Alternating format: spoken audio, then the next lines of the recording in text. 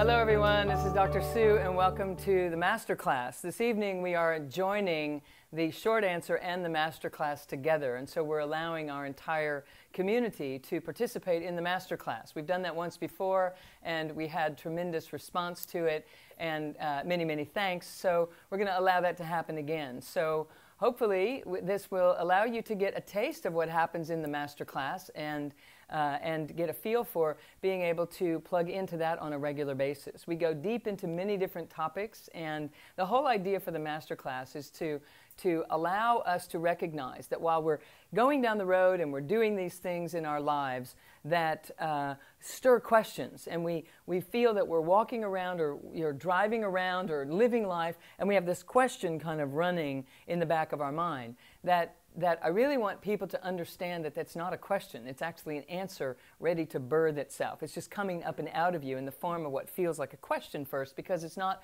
quite stabilized. So, what I do is I take a bunch of different questions and we put them together and we write them down over here, and then I answer them all together at one time so that we can demonstrate that there is a tapestry that is running through the course of your life and that tapestry is one answer weaving into another, weaving into another, weaving into another. And so that all the different topics of our lives actually come together in one conversation.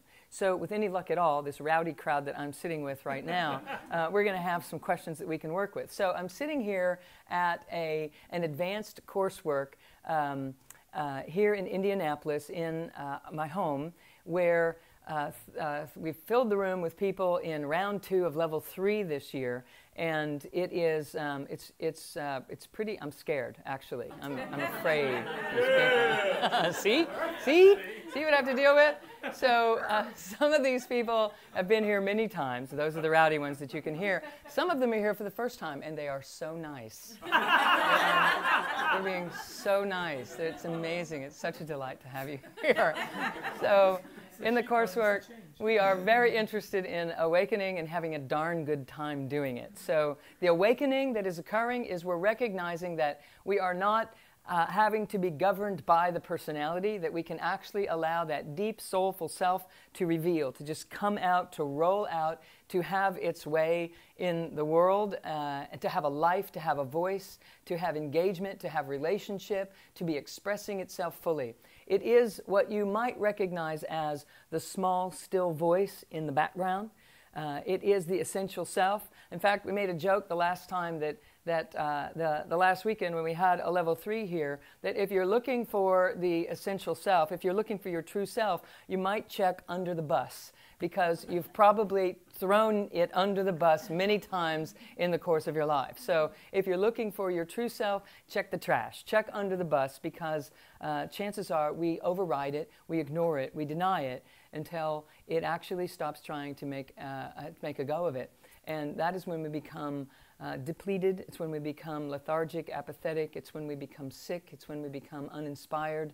It's when we, we start to choose alternative ways of living that just don't serve our eternity. Meaning, you're an eternal being. You're made to be living on, riding on, and running an immense amount of energy through your system constantly, an endless supply of it. It's supposed to be coming through your body, rejuvenating, refreshing, animating you, and then uh, going into the earth and coming out into the environment and dropping in and replenishing itself constantly and continuously. So, if that's not happening, we are here this evening to help you tap into ways to begin to allow that to happen. Now, the master class isn't the coursework, but I, of course, have to infuse pieces and parts of the coursework into the conversation of the master class in order to make sense out of the things that we're talking about. But it is not to replace the coursework because there are so many details in, in learning all of the techniques, the principles, and the practices that that requires a lot more than just one hour every month. But it is my delight to bring this information to you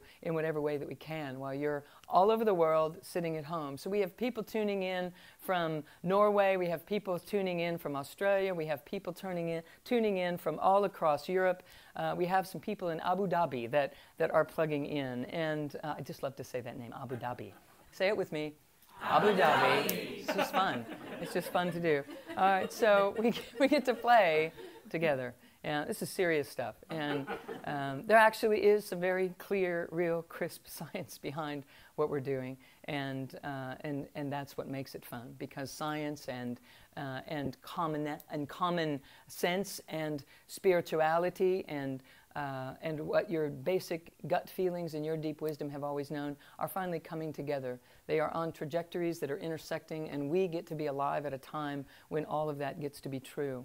So, chances are, if you have thought it and felt it somewhere deep inside of you, it is the truth. And it's my job to help bring that to the surface of your life and allow it to be part of what makes your decisions, part of the timing, part of the sequencing of how you choose to do what you do when you do it. All of it is a rhythm, all of it is a tapestry. It is truly a magic carpet that is uh, rolling out in front of you. And, uh, and it is our delight to come together and celebrate that. So let's get started, all right? So, how we do that is uh, you guys have to come up with some questions because I got a blank sheet here. So, if anybody has anything that you'd like to make sure that we delve into a little bit, this evening we'll pop it up here. So, you did, madam? Yes. Yep. What do you got? So, how do you know if you're in the void? And then, how is how long is too long to be in the void? okay, what is the void? How do you know if you're in it? And how long is it okay to be in it? Okay, so uh, we will return um, there. I'm going to put a little clock there so that I know that we're talking time on this as well. Okay, so what else we got? Yes. Kind of building on that, um, between expansion and contraction, uh, I've had a couple big expansions recently, and then that kabam of the contraction.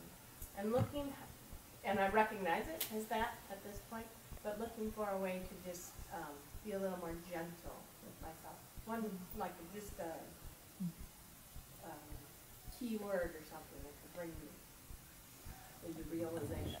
Uh, when in the midst of a contraction? Yeah. Okay, so uh, expansion and contraction. So, uh, huh, let's see here. Uh, you're probably not going to know what this is.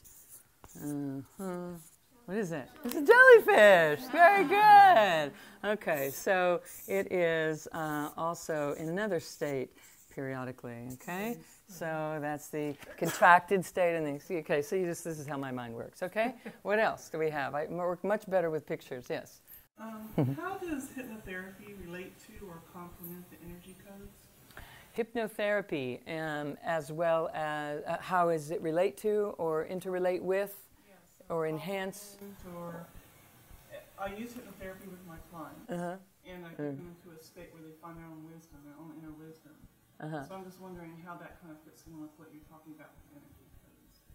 Okay, so if we have conscious and subconscious, so I'm, I know we're not putting them to sleep, but I'm going to just do this because it's going to allow me to see what's going on here. Okay? So what else do we have? Yes. Um, I was wondering what uh, what an energy codes approach would be to menopause, and um, how to sail through it gracefully. Okay, how am I s- menopause? What on earth do I draw? because what I'm seeing right now isn't really what I should put up there. So I'm going to write menopause. okay? I'm seeing fallopian tubes and all kinds of stuff. So we'll just go with some basic fundamentals here. Save me, yes. how to understand better the human timeline, oneness, and everything is happening now. The human timeline and Oneness oneness, okay? and everything happening now. We're in the present moment. collapsing time, right? This is where we're going to talk about, right there. Got that? Yes. I've been here many times and am so grateful for all of the awakening and what I've seen, what I've learned about a deeper truth that I never knew about before. Yes. And what I would like to know is how to better walk this planet and help plant the seed in others to um, be interested in asking some questions. So How that do they we- can get here too, without me telling them, you need to do this, you know, just a seed, Yeah. something for them to think about. Johnny Appleseed, right? Is that that's right? So like, how do we plant the seed? Uh, okay, so there's this is a seed, okay, and uh, now how do we uh, plant that seed so that it is uh, going to flourish into something that people can uh, can relate to in their own time? Okay, got that? Yes. A person who was here last week posted on Facebook that you said, talk, wait, think less, love more. Love more. Yeah. Think less, love more. Yeah. I'd love to hear you talk about that. Okay. Think less, love more. Just say more about that. There's not anything. I just get to say anything I want about that. Sweet. Okay. So we have another one of these and one of these. Okay. So we're going to do that from that. Okay. That'll remind me to talk about that. You got that? All right. Yeah. Um, tomorrow is the fall equinox. How do physical, natural phenomena affect our ability to access prana? Maybe you have some insight into that? Sweet. Okay. So, how do, um, like planetary uh, realities or um, or orbits or alignments, yes, affect um, uh, what? Affect what? Talk to me. Affect our ability to access prana, affect our ability to kind of feel all parts of this or be in the presence even more. Sweet. Today and how? Yeah. How's my solar system? Yeah, Pretty good. And they gotta have a moon there. Oh, that was the moon. We have two moons. It's, it's a new. Okay, here's Mercury out here because of the equinox. Okay, so Mer- Mercury in retrograde and all of that uh, is happening. So, okay, we're good. I think my page is about as full as my mind can be right now. All right, so this is good to roll. All right, so this is the first time I've ever had overlapping pictures. I don't know what that means about you people, but here we go. So, so what we want to, to recognize is that none of this information can be forced on anyone. That all of this information is in everyone, and it is here to birth itself, to, to root itself, and to grow and to reveal in its own right time. One of my teachers was Angeles Arrien, a cultural anthropologist that lived in the Bay Area for many years, and she just recently passed in the last few years. And she was a tremendous, um, a tremendous cultural individual. She traveled the world studying indigenous cultures and how they lived and worked together. And she used to tell a story about when she was a child. She grew up in, in Basque, and she was a child. Uh, her father was, a, was a, an avid gardener, and he was planting bulbs in the earth, and he was teaching her about planting. And so he put this, this bulb in the earth and covered it up, and they watered it, and, and she was all about learning how to, you know, water things and have them grow. And so every day she would come above the place where they planted the bulb, and she would say, Bodice, Bodice. And she would go home, go back inside, go to, you know, live the day, go to bed, get up the next morning, come over, look at it, and there's nothing there. And she'd be like, Bodice, Bodice. And so nothing would happen. She'd go and live her life and go to bed and get up the next morning day after day. So Bodice meant bloom, bloom, bloom. There was nothing happening. So she was totally upset about the fact that nothing was happening. And her father came over. She was crying. It's not working. It's the bulb is dead. It's not going to do anything. So he digs up the bulb and he pulls it out of the ground and he shows her that this taproot has been busy going down before anything would come up and break the surface of the soil and grow. So, you know, she got in her mind that ultimately we have to cultivate uh, in unseen ways before we ever get to see the blooming of anything. And so, when we're talking about planting seeds, uh, the way to know what to say, when to say, what to water, when to water, is to, to do so with consistency. You have to water the bulb regularly, right? So, how do we know when to say something in order to inspire someone to bodice, to bloom, right? So, the idea is this there is an impulse in you, the evolutionary impulse to grow and to share. Because we are one, there is an inherent desire in each of us to share. Because as we are expanding, the way that we experience that expansion is by sharing and exchanging, and by sharing our experience of growing and expanding. So you'll have an impulse to say something. What you have to say is something that's relevant to the person that you're talking to. And you have to do so unconditionally because their taproot is digging in long before you will ever see or sense or hear them come up through the soil and, and bodeche and bloom.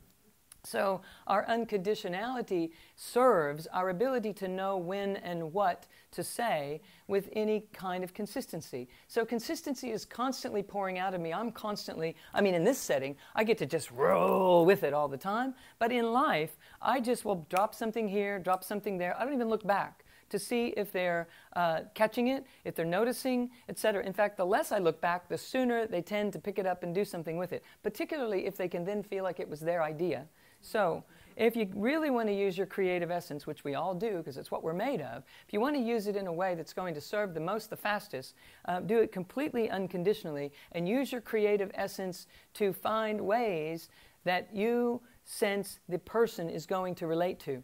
And imbued in it, embedded in it, is what you know is a nurturing presence that will allow for the blooming to occur in its right time. So, so maybe you're speaking an entirely different language, but if you're just even focused on this body of work, when you say what you say, the vibrational frequency is in it and it's getting watered. It's getting watered. It's getting watered. And it allows you to have a stress free, unconditional relationship with people who aren't really necessarily interested in engaging in the actual conversation with the words we get to use when we're in this coursework. So you get to use your creative energy to find other words that mean the same thing. Find analogies, find ways that what they're doing and what they're into is really a symbolic version of what it is that we would be talking about if we were talking about it directly here. I'm constantly doing that. Ask them questions, get to know what's going on in their world, and you will see that there's only one thing going on here, and we're all in the same experience. They're just different flavors, different colors, different versions of it. So when we start to look like that, we start to see that there is constantly a, a, a, collapsing of a differential between worlds, that, that there is always, always, always a cycle taking place in everyone's life. Always, always, always the invitation is to think less about it and love more. In fact, exactly what we're talking about of how to bloom and how to, who, to encourage and plant seeds for people, the, the more we think less and love more. If I'm focused on loving them, I'm going to ask questions about them and I'm going to feel where they are, and the words are going to come from a different place in me. When I'm in my heart space, different words occur to me to say. When I'm in my own enlovement, I just made up a word, okay? when I'm in my own enlovement, uh, what happens is I, I care, I sense, I feel you, I know what matters to you, I can tell. And so I, automatically am translating the words that I would say into a language that you can feel, that you can feel. So I'm talking my heart to their heart, and my head is saying the words, but it's really translating my love place, my space of love, that vibrational frequency of love. When we're coming from love, people can hear us. So the statement was that I said, think less, love more. And that is that that the heart is tapped into the abundance of all that is. And if we can anchor the mind down into the heart space, not think about the heart, but come in an elevator shaft and come down to the heart space and feel ourselves sitting in there and just just remain, just live there, just dwell in that space, what happens is we, we start to drop even deeper and when we drop even deeper than love, we tether the love to the deep wisdom and we bring it all the way to the third dimension when we root it, when we get all the way down in here. The love that is able to come up and out of us is a vibrational frequency that everyone can relate to. So, when we're trying to think of how to do things and we're trying to think of ways to say things or even think about what to say, if you will mula bandha and squeeze your heart and breathe down into the belly, literally the vibrational frequency of your system changes. And when the vibrational frequency of your system changes, different thoughts occur to you. different bandwidth is running through your system. You pick and choose things from infinite possibility that resonate at the heart level instead of picking and choosing things out of the infinite stream of information that's passing through you constantly that are at the thinking level. And so our minds operate at different frequencies from each other's. Our hearts all tap in to the same. So we want to unify with someone, we have to be seated in the heart space and allow that unifying principle that emits from the heart space to be what brings us together. So if we go head to head, we are differences to differences. If we go heart to head, we're sameness to differences. If we go heart to heart, we're sameness to sameness. And unity happens there. When unity happens, we operate in oneness. And when we're operating in oneness, we are in timelessness. We are eternal, we are youthing, we are getting younger, we're becoming more vital. And so, this timeline of the life experience becomes uh, up on ended. It becomes upended onto itself, and it becomes a vertical life that we're living instead of a horizontal life that we're living. And when we're in this verticality, time stands still and everything is now. We collapse time and we're operating right here in the now when we step into life from a place of love. In order to be wholly and fully in a place of love, we have to learn how to slow this mind down. Because the heart frequency in the now is at a different vibrational frequency than the thinking mind is operating in. The two have to line up to each other in order to get this system to do exactly this and to collapse upon itself. So, when we're talking about oneness and we're talking about unity and we're trying to find ways to unify between, uh, between couples, between uh, two aspects of a couple between family members, between community members, between uh, national members, between countries uh, around the globe. When we're looking for the unifying principle, we have to go to love. We can't march against anything. We can't stand in anger. We have to stand in love. It might be fierce love, but we have to stand in love. And when we do, what happens is that sameness in all of us starts to build. And when it's present in enough of us, this whole thing about operating from the linear mind just starts to disappear into this constant loving presence. When the loving presence is what motivates and inspires your words, then what comes out of you is the vibrational frequency that allows others to be guided right into that and to drop into that space with you. You can only draw people into love, you can't push them into love. Okay? You can only draw them into love. And so, what we have to do, and you do in an amazing way, the one who asked this very question, um, is we have to reside in love. We have to come from love when we speak. We have to uh, be inspired by love when we come up with projects to do. It has to be unconditional, unattached, and completely abundant if we truly want the vibration to be felt and to be known. When we do that, what happens is we automatically start evolving rapidly. When we're evolving rapidly, we we start moving energy through our lives, not only through this body, but through our lives. And that energy movement through our lives takes us through a cycle. It takes us through a cycle of creating things and then sustaining them and nurturing the things that we have created. And then those creative projects, they serve their purpose. And once they've served their purpose, then it's time to let go. It's time for them to no longer be held on to. It's complete, it is done, and as that completes itself in the cycle of life, the next thing that's going to happen is we're going to slip into a void temporarily. that might seem like forever uh, when we're in it, but we're going to slip into a void, and that void is actually when expansion is occurring.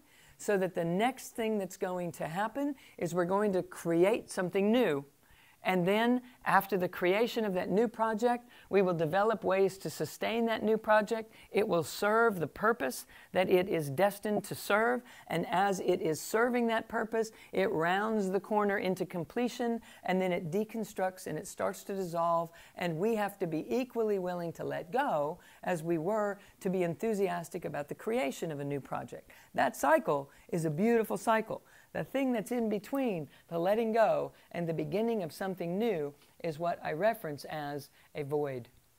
The whole of creation is always expanding and contracting, expanding and contracting.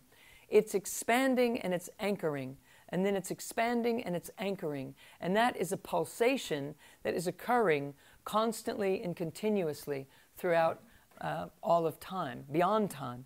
So, in that, when we bring that process into a linear uh, explanation here in the third dimension, it's a cycle of life that's happening. Okay? In the void between the creation, the sustaining, and the deconstructing, this space right here is one of, I have no idea. I don't know who I am. I don't know what I'm supposed to be doing right now. People ask me what I do. I say, I'm in between things, right? Right? Have we said this before? I'm in between things right now. Oh, really? How long have you been in between things? A while, okay? Because there's, un- there's discomfort, but it's a cultural discomfort. It's actually quite natural. So, what we're doing in the Energy Codes coursework is learning how to manage the void, to master the void, to cultivate the void, to get the most out of the void, to bring comfort into the void, because when we do all those things, we become present in the void when we're fully present, accepting unconditionally, undeniably, uh, wholly in the void, we receive immense information. That information comes in, it lands, it comes up through us, and we can read it and feel it and sense it, and a new project is birthed out of us. The problem with our society, our culture, is that it's not aware of this. And it's so not aware of this that it puts us in a void denying culture. All right? It puts us in a void denying life, in that there's a judgment about it. Like we're not supposed to be in the void. We're supposed to be busy. We're supposed to be productive. We're supposed to be doing these things. We're supposed to be accomplishing something. And I'm particularly thrilled when people claim some space and some time for themselves that allows them to truly sit in this void space because it is rare, it takes courage, and it only takes courage until we actually do it. Once we do it, we know it just takes permission eh, because it's so beautiful to actually allow yourself to stay there, to sit there, to be there. And after we've done that enough times, it actually becomes fortifying and nurturing because we're cultivating more of who we are. So think of it this way when I expand, more of me drops in. More of the unknown parts of me are now available to my awareness. If I knew all of those parts, I wouldn't be growing, right? But if I'm growing and I'm expanding, there are going to be more parts of me that I have access to that don't have a face and they don't have a name. I don't know what to do with it. I don't know that part of me. So inside of it, it feels like, I don't know what's going on. I don't know who I am. I don't know what I'm supposed to be doing, etc. So, how long is okay to be in the void? Yes. That's my answer. How long is okay? Uh huh. That's how long. How long I'm there is how long I'm supposed to be there. And however long I'm there, if it tests my patience, if it challenges me, if it freaks me out, if it scares me, then I know that's when the work is being done. So if I can fully accept the discomfort, if I can be present with the discomfort, then the work will be done. I have to become comfortable with the discomfort in the void.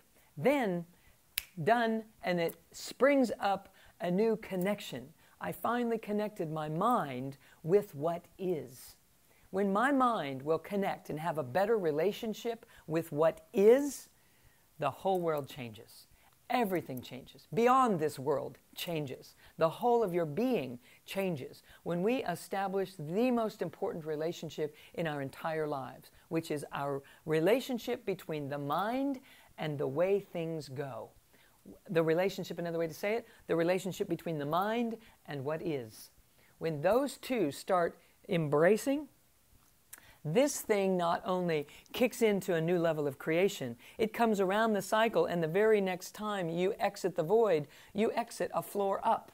And you come around again, and then you exit and elevate, and you're now operating on an even higher level of consciousness. So that process is spiral dynamics. That's it. It's the spiraling of the life experience. Riding right through the middle of that is the overriding evolutionary principle and that is that we are destined to expand, destined to grow, therefore destined to be in the moment of not knowing something about ourselves.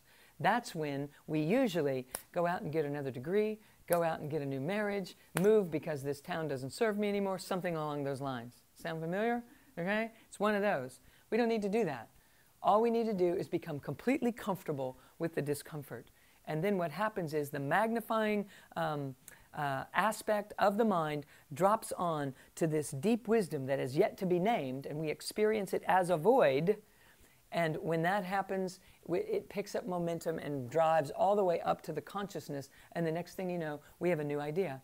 The next thing you know, we feel really inspired and totally plugged in again. What's getting plugged in is the mind is getting plugged into this deep truth that is running through me. So I'm interested in us doing that consciously and intentionally. So one of the questions is about hypnotism and how do we how does it relate to what we're doing? I'm particularly interested in people learning how to do this consciously, but I also know there are many, many ways to access the subconscious, some of which are in some of the techniques that we use through BEST technique, through BEST release, through meditation, through the breath work.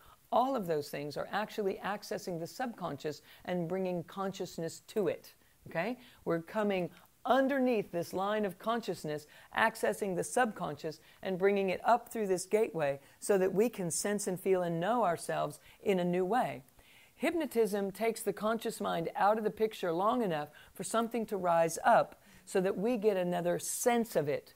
And so then when we come out of hypnotism and we can work with what was revealed under hypnosis, we have the opportunity to take that and cultivate and integrate it and bring it into the body. I still would highly recommend that an individual that is undergoing hypnosis also does the breath work, the embodiment work that we're using in these principles. Because there is no revelation, there is no aha that we come to, no matter what the technique to get to the aha is, that will stay with us in a sustainable manner if we don't embody it.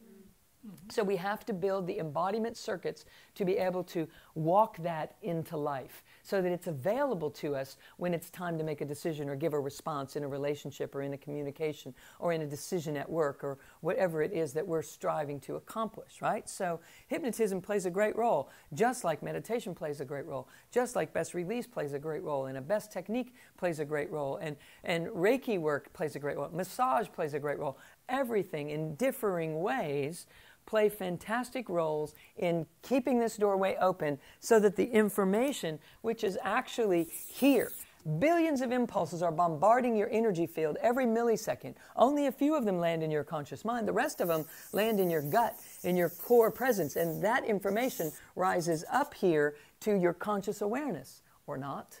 And we want it to.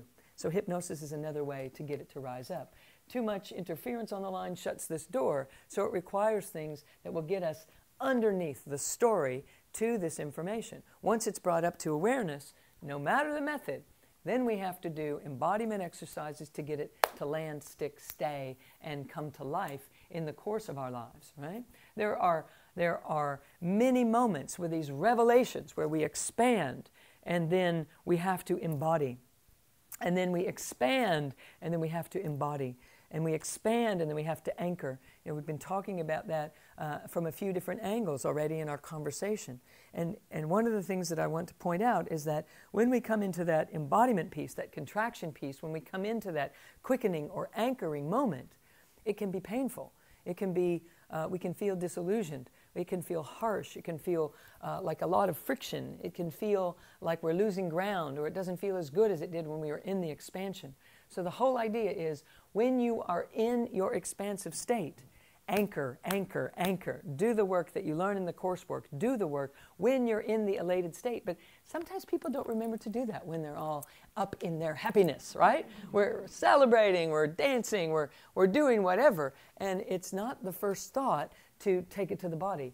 We usually, at best, think to take it to the body when we're in, uh, when we're in trauma drama, when we are in some kind of need.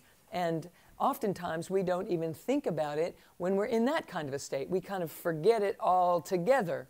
So, what we want to do is recognize that the most important thing that I can do with my mind is to take my mind to the body.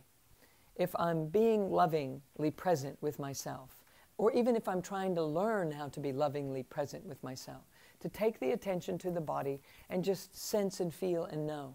One of the ways that I know are the easiest to remember, to take your attention to the body, is if you have a ritual in your life of doing so, a ritual of the practices. If every day you get up and you do something physical, like yoga or the five rites or some kind of body movement that has consciousness associated with it, you're going to get to know your body. The mind is going to get to know the body better. When the mind and the body become better friends, it starts to cultivate a thickening of this essence inside. And when that essence is cultivated enough, it softens the blow of everything. It's, it's like it, your life becomes more liquidy. So if you were underwater, under liquid, and somebody punched you, it wouldn't have nearly the impact as if you were standing in the air or standing on the ground and through the air the punch was delivered, right? There, it's, everything is slowed down. There's some, something viscous in the space in between the parts. And actually, when we start to cultivate this essence inside of us, it's as if everything slows down and the blow gets softened. The more liquid light is present. So, what are some tips to make that happen? The more you are mula bandha and squeezing the heart and breathing up and down the central channel, the more it's going to cultivate this essence within your core. And so, when the compression comes that is there for the purpose of you anchoring what it is that you've awakened to, big openings require big anchorings do it consciously or the world is going to take care of it for you. It's going to it's going to create some kind of cha charge that feels really harsh. So how do we do it? Um, through a regular ritual, by feeling your body. When you are creating a ritual of feeling the body, there is there are very few times throughout the course of a day that you're not aware of what you're doing with your body, where your body is in space, etc. So you do a physical exercise. Like tomorrow at our coursework, we're going to go out and do yoga. And, to, and, and tomorrow afternoon or the next morning, you're going to feel some things in your body that you weren't feeling the day before because you're moving the body in certain ways that you're, you're not as used to. So we have to put that kind of a ritual into our lives so that we're constantly aware of what's going on and what's developing. There's a project going on inside of my body all of the time that is cultivating new circuitry. I'm constantly working on, on accessing additional uh, mastery inside the body because every time I uplevel that, my consciousness uplevels and I'm able to share more and more and more with you. And it is because I'm constantly bringing the mind into the body with the breath and marrying those three aspects of my wholeness. So, ways to remind yourself that you're just in one of those contractive states um, is to constantly be working with the breath work, the breath of loving presence, to put yourself back into a ritual. Maybe you've gotten away from some aspects of a ritual that you can you can return to. Maybe you can deepen that practice. Maybe you can add something onto it or shift it up a little bit so that there is consciousness in what you're doing if your routine has become rote and you're not quite as conscious about it as you were before. Anything that is loving, anything that slows down the mind, anything that is nurturing, uh, something as simple as committing to getting in a, a pool or a body of water or a bath of salt water uh, every day for seven days in a row. As silly as it seems, it will transform what's happening energetically with your system because of the ritual, because of the commitment of taking the time, and particularly because of the water element. So keep that in mind. Soothing and softening the electricity that happens and that gets ignited during an expansive state uh, or an expansive phase in your life. Nurture it with, with water getting in the ocean, getting in a pool, getting in a salt bath. these kinds of things are tremendously beneficial. When my father was going through so many openings and expansions uh, after my mother passed in, on her year anniversary, he was almost crippled because of what he was not allowing himself to process on an emotional level. Because he didn't want to be one of those people that was still talking about his spouse 10 years later and would cry. So he got busy driving his okayness. And I was very concerned about that because it happened like the day after the funeral. He started talking this way. And all I could think was, ay, ay, ay, at some point, this is going to come back around. So on the anniversary, there were so many more emotions, and living back through those moments, so much of it was present again. It was undeniable. And he went down. He went down for three weeks on the six weeks on the couch, not coming out, just in pain and misery and emotion, and not knowing what to do with those energies. The one thing that helped him uh, integrate faster than anything else was to get in a salt bath. So I was, I just encouraged him because I knew that after that big experience happened in my life and my circuits were fried because I was accessing something I did not have the circuits in place to process. When I awakened as that ray of light, could see 360 degrees around me, etc., the thing that soothed me the most was getting in a salt bath. So perhaps committing to just doing that, maybe just for seven days. Three days, seven days, 21 days. Your body runs in three day cycle, seven day cycle, 21 day cycle. So if you try it for three days and you don't feel any different, you're going for seven. You try it for seven days, not so much. We're going to see a really squeaky clean person who's taking a bubble bath every night for 21 days. It will, it will have an impact for you. So hopefully that will be helpful these rhythms and these circuits that are happening in cycles, all of this thing that we're talking about, are completely true. There is a complete influence happening in every cell of your body. One of the things that I love about the human physiology is that it is the organizing principle of all of creation. What that means is it's a holographic universe. Everything that is happening in the whole of the universe is happening in your own body. And everything that is happening in your own body at large is also happening in every cell, individual cell in your body. It is, it is so fantastic what science is revealing to us about this that currently it is even uh, being, and actually in, in very ancient practices, it is understood that, that there are aspects of every cell in your body that correlate to the very planets of the cosmos. There's a portion of your cell that correlates to Mercury. There's a portion of your cell that correlates to Saturn. There's a portion of your cell that correlates to the sun. Likewise, in the body, there's a portion of the brain that correlates to the sun. A sun salutation in yoga is actually directing the energy toward the thalamus in the center of the brain. The right and left side of that is enhanced when we do a moon salutation as well. When Mercury is in retrograde and everybody says, oh, don't do that now because Mercury is in retrograde, it will surely blow up in, in your face. So they wait for Mercury to come out of retrograde to step into things. Uh, there's actually something real about that. However, uh, we want to, to have the both and happening. We want to be in, and I'll tell you a story about this. Uh, I'm, I'm getting ready to, to take a, a book to publishers um, a book proposal to publishers. And a dear friend of mine was very excited about the fact that this was happening. And she runs her entire life by Jyotish astrology and the right time to do this and the wrong time to do that. And you don't do anything on certain days and you do everything on other days and you do certain kinds of things on the days in between. Okay? And so, and, and she's amazingly successful. And so, you know, I can't deny that she's probably winning by doing that. But she's constantly on the phone with her astrologer and she's constantly asking her guides and her, on the phone asking her guides. And, and I'm like, you know, you could find those guides in here if you just build some circuitry for that. So, so she was saying um, a, a, couple of weeks ago, it, you know, it was looking like we were about to, to create this proposal ready to take it to the publishers. And, and she's like, no, no, no, you can't do that. You cannot do that yet because Mercury is in retrograde and it'll just, no, just wait okay and and she gave me the date of when it could be and i was like oh whatever that seems far away i don't know i'm just going to stick with this and do this so there were some things that needed to be tweaked and refined within the proposal itself I mentioned to my agent that my friends, you know, how, how's, how's that sound, right? Well, my friend says that I shouldn't do this because of Mercury being in retrograde. So if you don't mind, I'd really like to wait a few weeks, all right? So I didn't know how to write that, but I was like, I'm going to write this to my agent, right?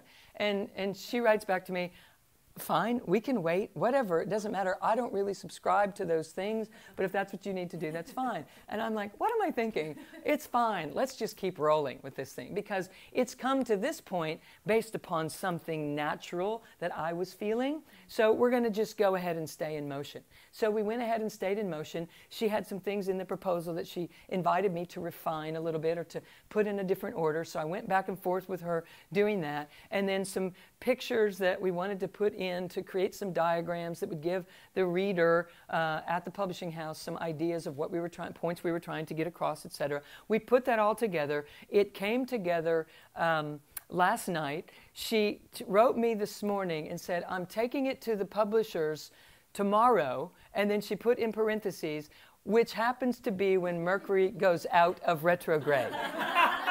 okay? So it all came together riding my little magic carpet ride that I'm riding in my life in the same way that the Jyotish astrologer was telling my friend to tell me, no, no, no, no, don't do that until this point. Turns out those two paths crossed right on time. So what I'm what I'm inviting us all to recognize is that there is a rhythm that is trying to roll out in your life, and you have to go with that rhythm. There is nothing more profound, there is nothing more informative or informed than that, that set of team of uh, guides that reside inside of you as the natural rising impulse that is in each of us that is governing your life to this point in time. It is governing it, and the less we think about it and the more we feel and trust, the more we get to be in touch and in sync with it. Let me give you another uh, picture. I've used this analogy many times. Forgive me if I've used it in the master class uh, every time. I might, I don't know. But it is as if you're a surfer and you're out sitting on your surfboard waiting for the next wave to come and you're sitting there hanging out and believe me it's a beautiful thing to be sitting there on a surfboard and just hanging out and waiting for the next set of waves to come and looking at the horizon and, and turning and looking at the land. So the surfer's sitting there and all of a sudden they see a so- storm coming up and so they get on the board and they start paddling into shore because they want to paddle and paddle and paddle and paddle and paddle to get to shore to outrun the storm. And they're paddling and paddling and paddling and paddling and paddling, paddling. And what they don't realize is if they would just stop paddling for a minute, there, there is a wave right behind them that so far they're out paddling that if they would just relax, the wave would pick them up and carry them to shore 10 times faster than they could possibly paddle themselves there that there is a wave and there is a rhythm that is running through your life, and it brings the right people to you at the right time. It brings the right ideas up in you in the right time. And if you're sitting in the void and there's no idea coming right now, that's exactly perfect. You're sitting between sets. You're waiting for the perfect wave to come to ride in, and you're not going to settle for anything less. And I have said no thank you to so many things that have that would have gotten me so much as out there more more quickly but it wasn't authentic. It didn't feel right for me. It didn't feel true, and I was told, "You're missing it. You're going to miss the opportunity. Don't let you, don't let yourself miss this." And I just couldn't do it. I would try to go, or I would try to push send on on, the, on on sending something in, and it just wouldn't happen because I happened to, through grace, have been in, tuned in enough to the true guiding principle, the governing principle within the core of my being, that it wouldn't let me do something that wasn't serving true integration, true authenticity, and the true expression of why I am here. It was through grace, but I happened to be attuned to that appreciative space enough in gratitude that I caught what it was, and I got onto it with my mind so that I can translate that into what we're teaching in the Energy Codes coursework to teach the mind, teach our minds how to tap in to that wave of grace that is moving through our lives. Because once the mind hooks into that, we are guided uh, divinely by it. We're guided um, transcendentally. We're guided from a subtle realm and from a supra realm. And that that particular combination is in our favor regardless. So there is a huge planetary impact a huge solar system rotational uh, mathematical equation to our lives. And rather than learning all of the math, math, the I Ching is based in the mathematics of, of your life experience. And rather than learning all of the principles if we can just learn how to feel when it's time to express and when it's time to sit and wait, when it's time to move and when it's time to cultivate, when it's time to speak and when it's time to listen, then we're in the flow without intellectualizing that process and still experiencing pain and fear, but having all these successes. So some of my friends who are on the phone all the time with their Jyotish astrologers, not that there's anything wrong with that, but that are constantly, constantly on the phone doing that, also experience more fear and anxiety in between those phone calls than anyone else I know. So, how about both and? You know, how about we get access to all of that infinite wisdom and we also feel good in the in between moments. That's what I'm really, really interested in cultivating for us. So there will be expansions, there will be contractions, there will be expansions. There has to be an anchoring after every expansion. We want to do that through the coursework. You know what to do. You have to match it. You might have to uplevel your current practice to match the upleveling of your expansions that are occurring as you go along. Because the higher you get in this spiral, the greater the expansions. So we have to be more embodied and more embodied. It doesn't have to become more and more effortful, it will become more and more present in your life. And as that, what happens is we are creating and expressing our creative energy constantly. The expression of our cre- this is big. The especially ladies, the expression of your creative energy is what allows you to maintain chemical balance in your body. This is true for everyone, men as well, because there's such a thing as menopause as well as uh, menopause as well as menopause, okay? And that is that when there are chemical imbalances in the body and we don't have the automatic built in expressions inherently, genetically, cellularly, uh, as patterns subconsciously built into our culture, uh, when those things have completed that are not causing us to express creatively, automatically, like raising children, okay, like keeping a family knit together and keeping all that happening. There's a tremendous amount in the, in the female role uh, in our modeled uh, culture that she is putting forth a lot of creative energy.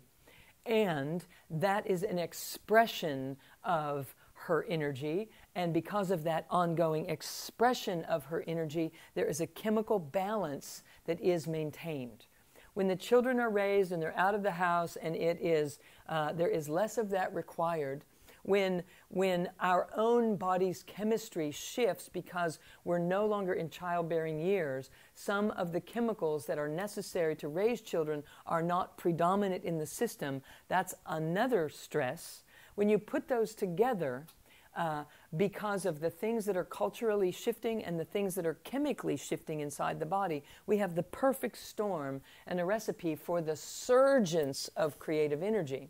If we don't haven't connected the circuitry to express that energy outwardly, what happens is it surges as a flash of energy, which we call the hot flashes, which we call the disorientation, the change in chemistry in the physiology. It's all because we don't have the circuits in place to express our magnificent wholeness.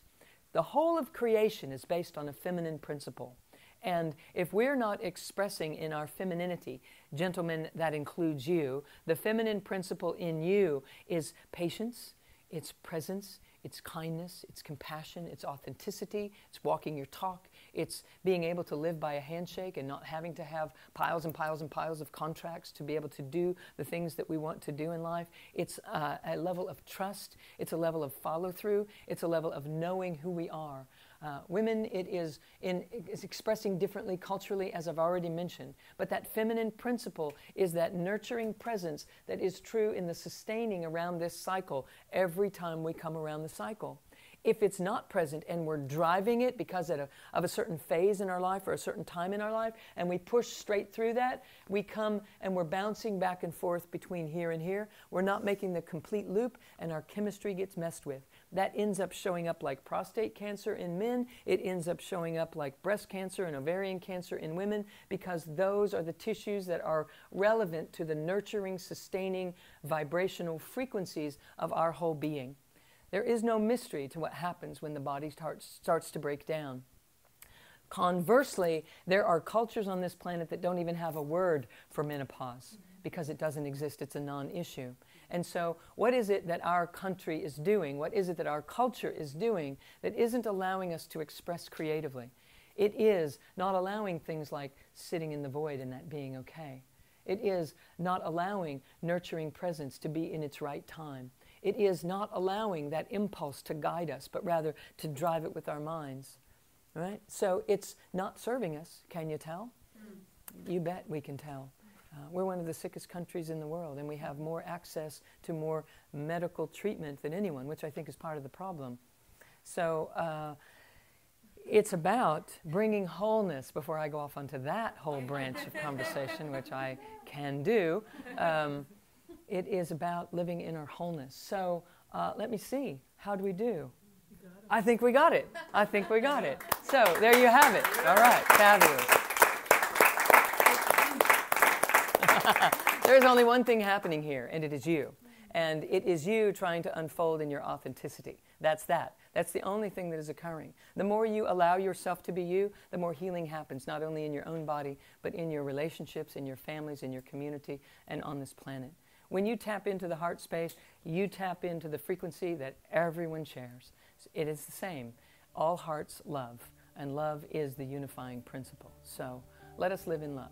Thank you for joining us for the master class. To find out more about this, just come to uh, www.drsuemorter.com, D-R-S-U-E-M-O-R-T-E-R.com. It's a great pleasure to spend this time with you. Thank you for your yes. Namaste.